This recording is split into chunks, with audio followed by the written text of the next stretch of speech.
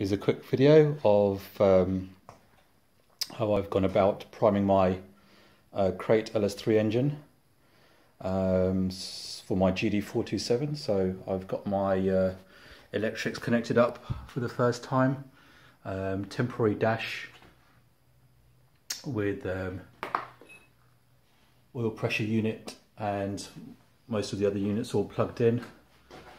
My SpeedHut dial gauge is here on my dash. Um, what I've done is I've bought a cheap uh, drill pump off eBay, um, some half inch PVC pipe and a M16 by 1.5 to half inch um, hose connector, plugged it into the oil gallery there.